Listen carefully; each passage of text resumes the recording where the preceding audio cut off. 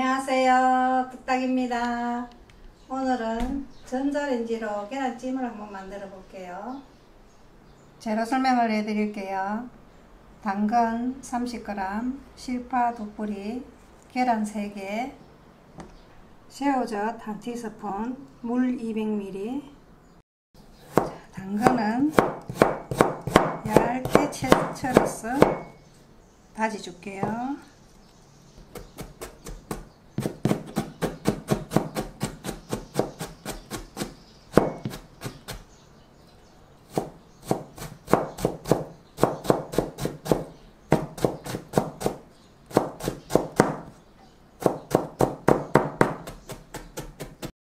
실파도 송송 다질게요.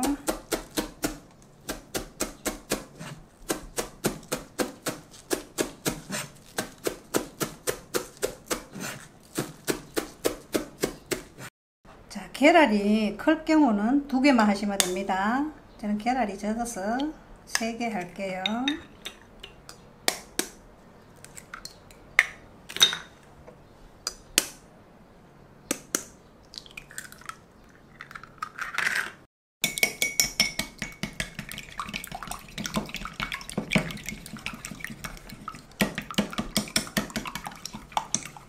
이렇게 저어주세요. 다 풀어주게. 자, 새우젓도 넣을게요. 당근,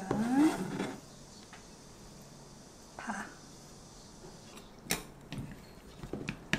자, 여기다가 물 부어주세요.